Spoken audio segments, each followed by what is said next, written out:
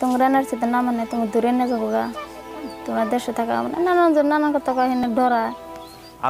এই বিশেষ আপোনালোক সকলোকে স্বাগতম মই শাকিল আহমেদ আজি আপোনালোকৰ মাজলৈ লৈ আহিছোঁ নাগৰিকত্ব খেদি পৰা এগৰাকী ব্যক্তিৰ কাহিনী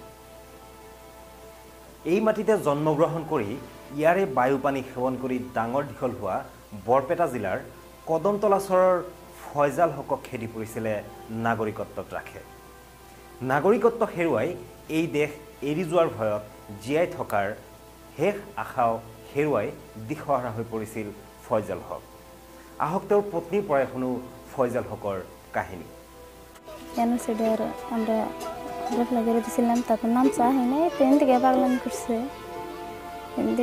খাৰাপ কৰতে দূৰে নিয়ে কৰছে বিষ হয়ে কৰছে একটা নামের ঘর পেয়েছিলাম তো কাগজপাতি তো নাম ছানা হয় নাই ঘরবার দেখি দেশে থাকবি না। জানা গো আবার জানা গো দেশ আবার জানা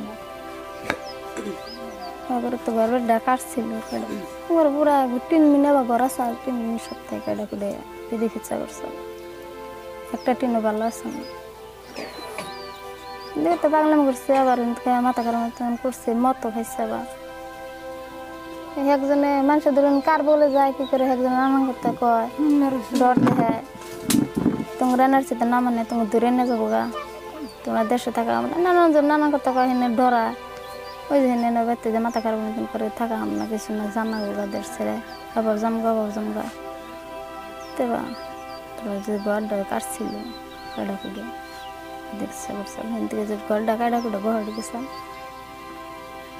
ঘরে যাওয়ার পর আমি বাড়িতে আসি মামা আবার গেছিলাম। ঘরটি যে কাম সাম করলাম।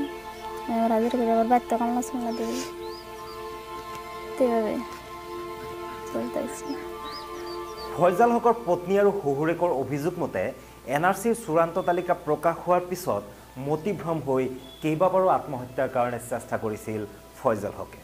এই এনআরসিল মানে এনআরসিডে না হাতে।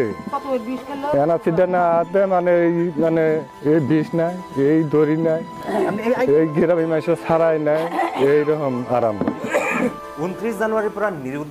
থকাৰ পিছত আবেলি কাষৰে এখন বিদ্যালয় গৃহৰ পৰা উদ্ধাৰ হয় ফয়জালৰ মৃতদেহ। নাগৰিকত্ব প্ৰমাণৰ মেৰ পাকত পৰি অৱশেষত চিপ জৰিলৈ মৃত্যুক সাৱটি লয় ফয়জাল হকে।